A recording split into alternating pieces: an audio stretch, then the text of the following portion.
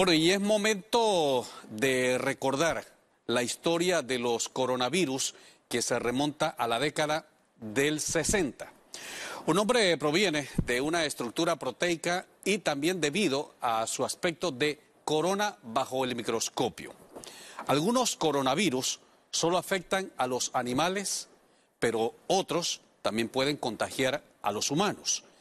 El virus se transmite entre humanos por vía aérea, contacto con secreciones u objetos contaminados.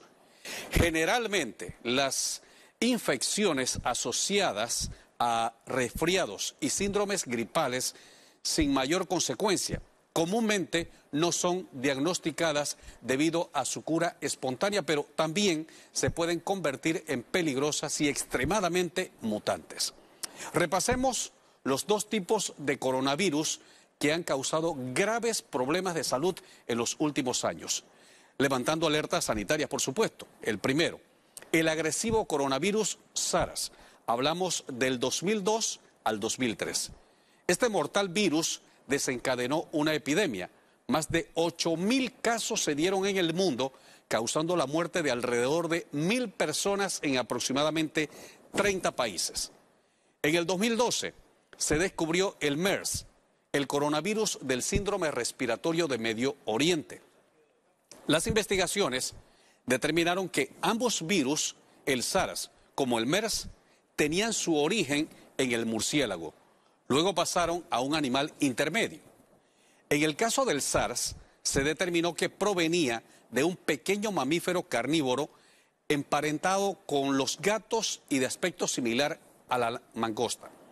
En el caso del MERS, el animal se pasó de intermedio y fue a través de un camello.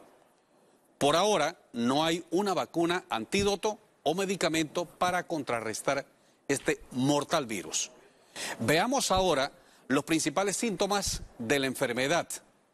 Fiebre, tos, dificultades para respirar, fatiga, dolor de garganta y cabeza, escalofríos y malestar general. El nuevo virus se originó en diciembre del año pasado en un mercado de Wuhan, una ciudad china con 11 millones de habitantes que está ubicada en el centro este de ese país.